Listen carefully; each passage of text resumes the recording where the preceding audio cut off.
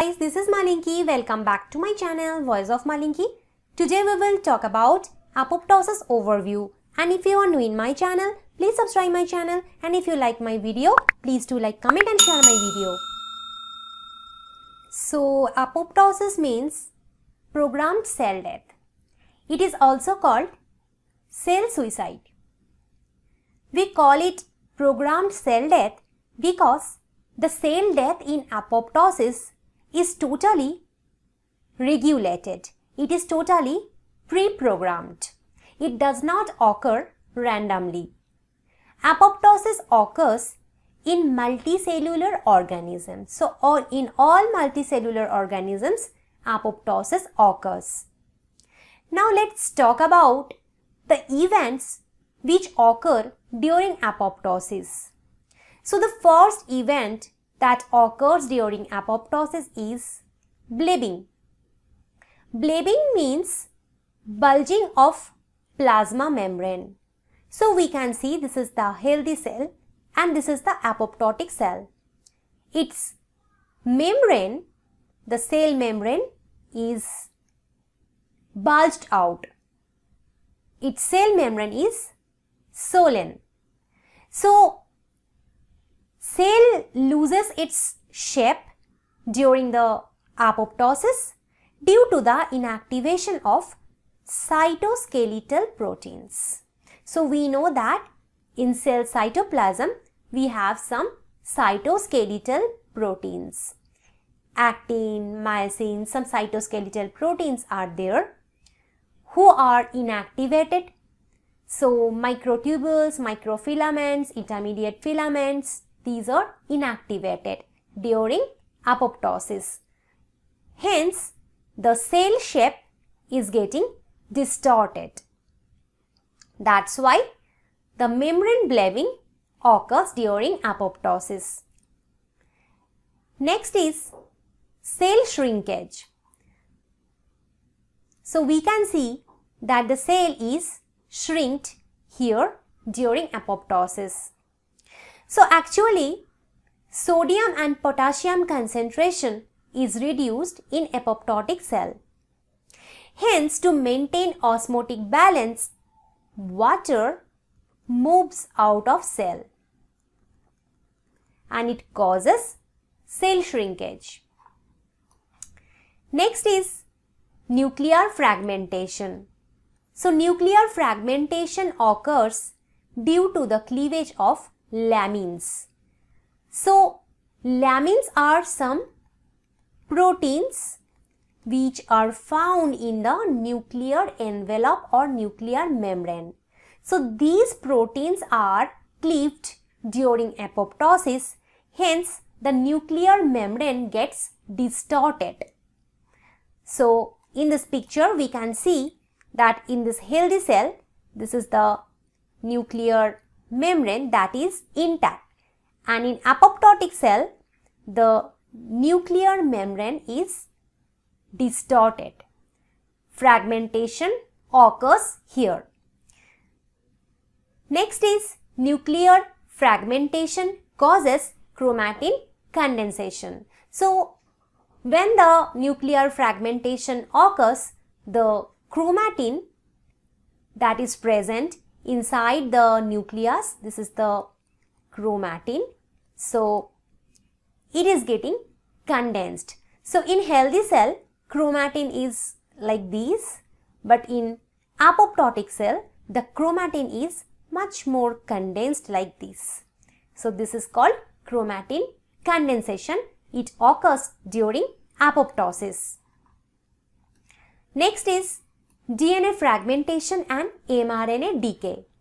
So it occurs due to activation of some endonucleases. Some endonucleases are activated during apoptosis and they cause DNA breakage that is DNA fragmentation and they cause mRNA decay. So why does apoptosis occur? Now Apoptosis is used during early development to eliminate unwanted cells. For example, those between the fingers of a developing hand. So here you can see this is the hand that is going to be made during embryonic development. Now apoptosis occurs in these gaps of the fingers because here fingers are all joined. They are not at all separated. So apoptosis occurs here and the fingers are now separated. So this is beneficial when the hand is getting developed during the embryonic stage. In adults, apoptosis is also used to remove damaged body cells which are B1 repair.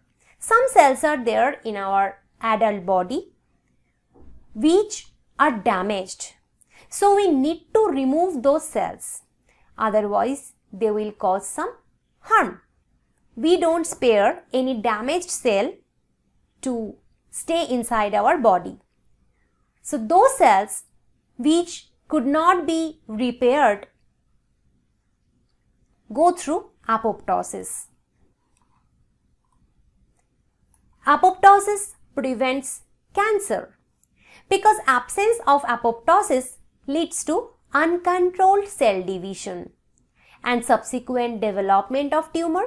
So apoptosis is very crucial to prevent cancer.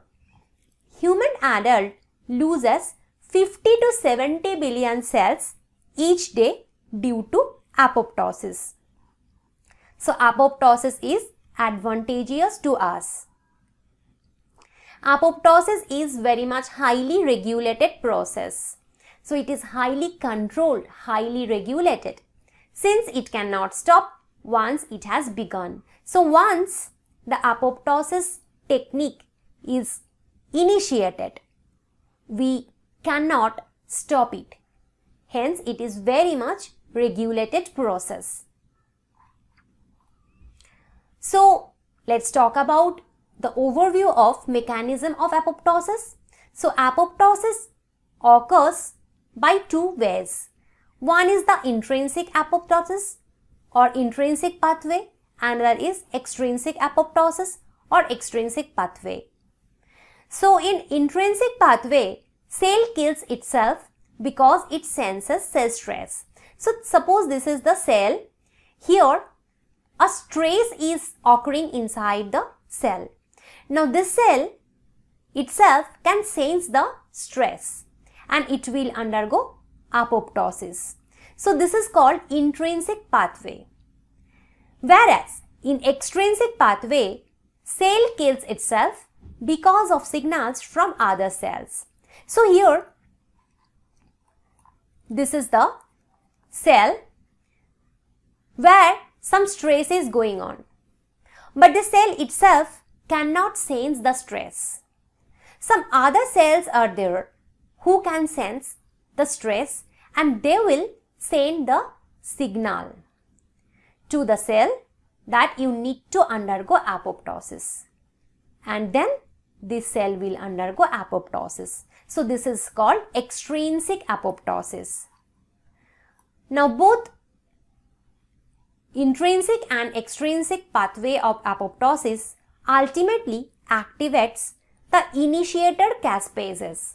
Initiator caspases are some proteases. They are nothing but some proteins and they are proteases because they can cleave other proteins. So they are named initiator because they initiate the degradation process.